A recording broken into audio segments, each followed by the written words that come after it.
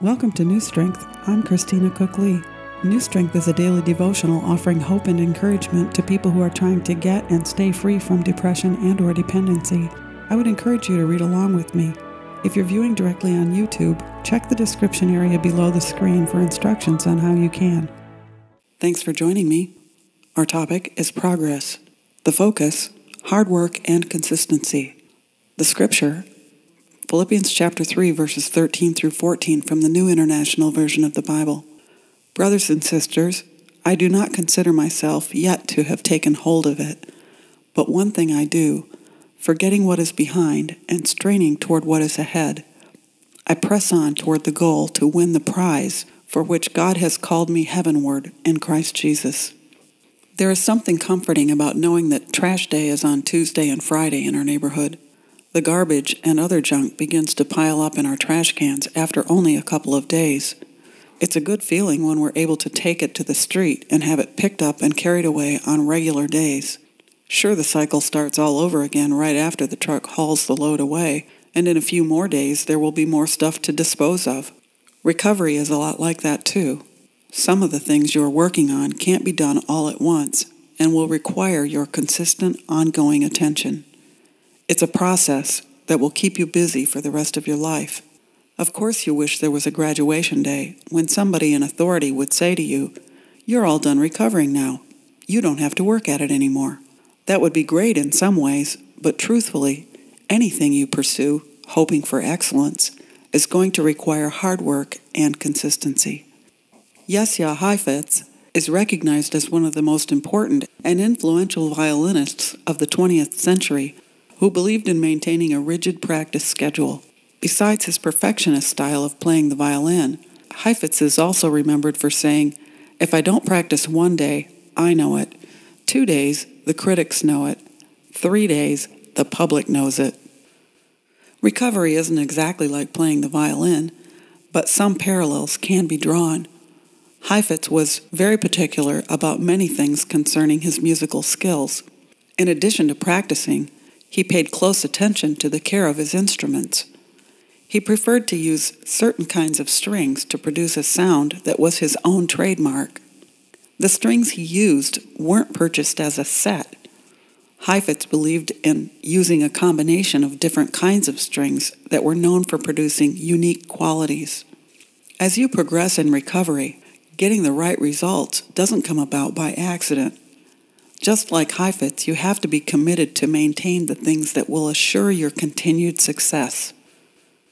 You may learn to recognize the importance of avoiding some places and people that could cause you to regress, and you may also have to institute some healthy practices that will help you stay encouraged and result in progress.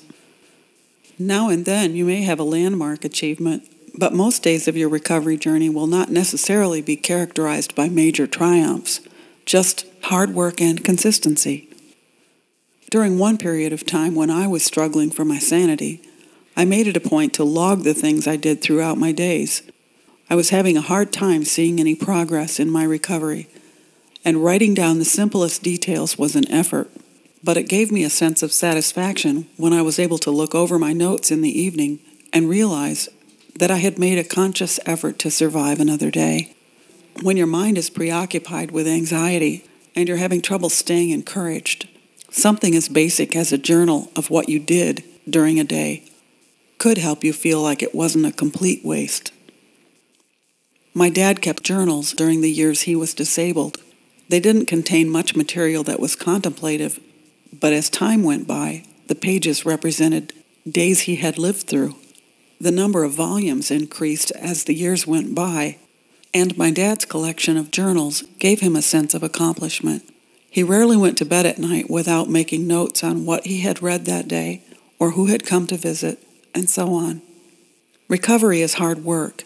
Yes, it's difficult imagining that you may have to keep working at it for the rest of your life and that you may never see a real end to it. But something you can take comfort in is the fact that God is with you every step of the way.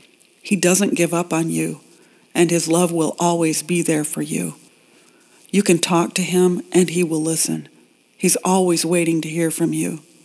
He has promised you strength for each day, and mercy that is new every morning. You can face this day and every day with the knowledge that God cares about everything that concerns you. He sees when the sparrow falls, and you are much more precious to Him than a sparrow. Declaration I will find new strength by developing some good habits that will help me stay encouraged. Even if my steps are small, I'm still moving forward. With hard work and consistency, I will keep getting through each day and making progress. Thanks for taking the time to listen. I would really appreciate it if you would like this segment, and if you wouldn't mind, please share it with someone else who might also benefit from it. And if you haven't already, subscribe to the New Strength devotional channel on YouTube or on WordPress, and then a link will come to you every day in your email with a segment like this. And if you're already a subscriber, I'll look forward to meeting with you again tomorrow. My prayer is that you will find new strength day by day and endless blessings. I'm Christina Cook Lee.